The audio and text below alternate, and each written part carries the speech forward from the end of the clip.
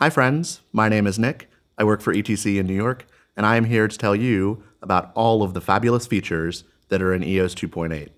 Let's dig in. The biggest feature in 2.8 is our ground up renovation of the fixture editor in Patch. So let's go take a look at that.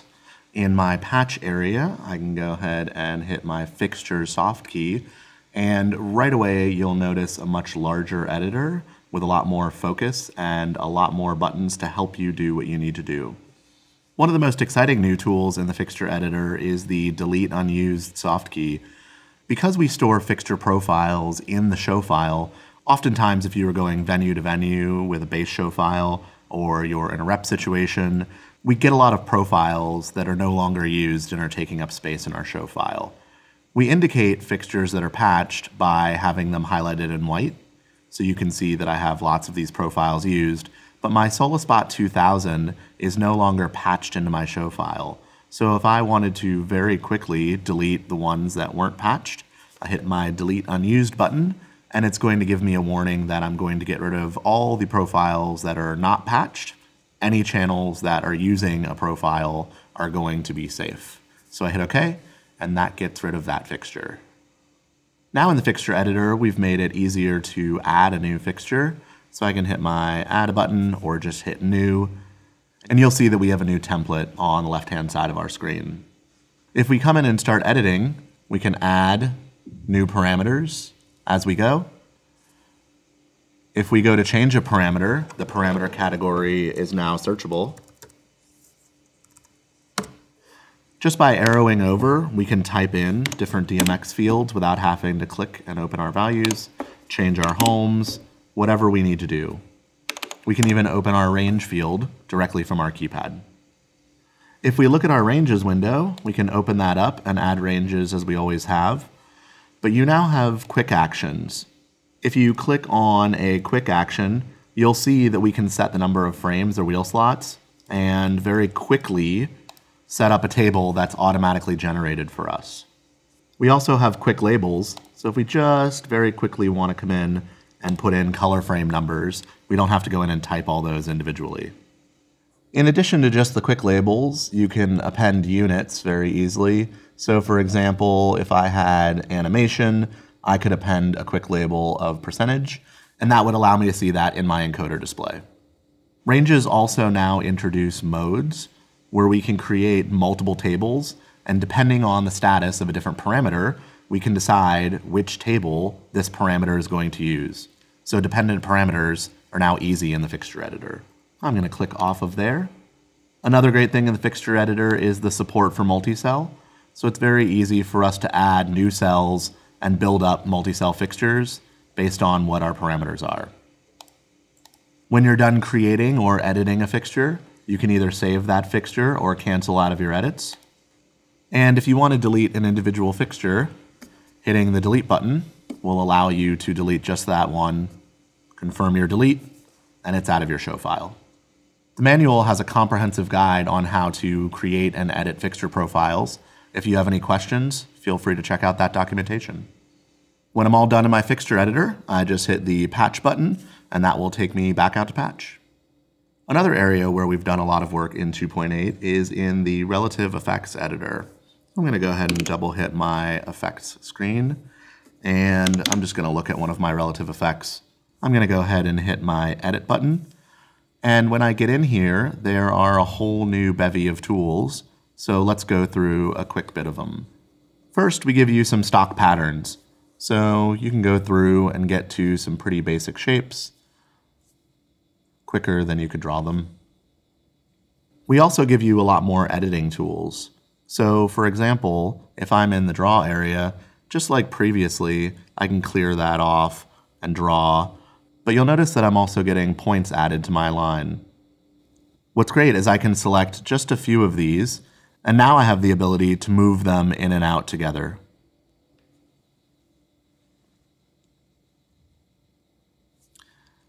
If I select all of my points and I do something like form, I can stretch and change the form of that shape. With my size tool, I can just shrink it or grow it. And of course, I can always rotate it. But what's great is when I have just a few of these points selected, I can still use the form tools, the size tool, and the rotate tool just for the selected points. So there's a lot of editing options in here that make you a little bit more precise in what you're drawing.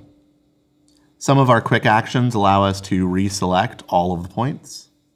If we use our smoothing tool, that's going to add additional points to smooth it out. We can mirror the shape horizontally or vertically. We can use our subdivide feature in order to add additional points between selections. And again, if we have certain points selected, we can remove them. If we didn't like what we just did, we always have our undo now, and we can redo as well. If we like our changes, we can hit apply, we can restore it to the previous value before we edited, or we can clear and start all over again. So I'm gonna hit apply. These tools are slightly different depending on the relative effect you have. For example, Linear gives you a preview of your extended waveforms, and in the edit area, you get very specific types of waveforms. Again, you can move these up and down. You can change the gamma, or you can adjust individual points. Speaking of effects, I'm going to put some of my LED fixtures at full and just run an absolute effect on them. And this isn't any different than anything we've done in a while, but wait, I'm going to record those into Q37 part three, and now I can store effects and parts. We've modified one of our display tools in our playback status display. I'm just gonna go up to Q4 real quick so we can see this. The graphic that we introduced in 2.7 for follow or hang cues was a little distracting, and so we've simplified that graphic, making it a bit easier to read. But in case it still isn't your cup of tea, in your edit tools, you have the ability to display or suppress the follow hang indicator in your playback status display. We've added a little bit of extra file safety in 2.8 as well. So I'm going to go into my browser and I'm going to go ahead and start a new show file. And you'll notice that because of the asterisk up on my show file name, I have unsaved information. So as soon as I try and start a new show file, it's going to let me know that I have unsaved changes. And I have a few options to either save this file, save it as something else, or continue without saving. For now, I'm just going to cancel. In 2.8, we have a few more tools for Magic Sheets. I'm going to go ahead and hide my CIA, open up my Magic Sheet tab, and take a look at this guy. Much like our fixture profiles, if we use a show file as a base file or in a rep situation, it's very easy to get lots of unused graphics that we've imported kind of piling up in our show file. So if we go into our Magic Sheet editor, into our photos area, you'll see there is a new delete unused button. So for example, if we no longer need our Hang in There Kitty inspirational poster, we can say delete unused. You'll get a warning that says that all of the magic sheets that are being edited in the system will be closed, and then the unused images will be purged. So if you're on a multi-console environment, make sure no one else is editing. You can click OK. And you'll notice back in the editor, any unused images will be purged from the show file. Also, as a part of this work, whenever you merge in a magic sheet, we now discard any images that aren't used, keeping your show file at a manageable size. I'm going to close my editor. One of the final features for Magic Sheets in 2.8 is the ability to go into a full screen mode. So if I come into my config tools, you'll notice I now have limited expand mode. And if I click on that, I am now in a full screen Magic Sheet my editor tab has been hidden and I can't get out of it unless I know that I need to hit shift and displays to go back to the standard EOS environment. There are a couple of options when we go into full screen mode. We can disable any keyboard input and we can lock which page the faders are on. So if I check those and then I go into limited expanded mode, the only way that I can start to input things on my keypad again is to shift displays. Shift displays can also take us into full screen Magic Sheet mode. And just to point something out while we're in here, you can see there's some dots up at the top corner of a Magic Sheet that's full screen. and that's just to indicate that the system is functioning and operating. You can think of it as the cursor on a blank command line.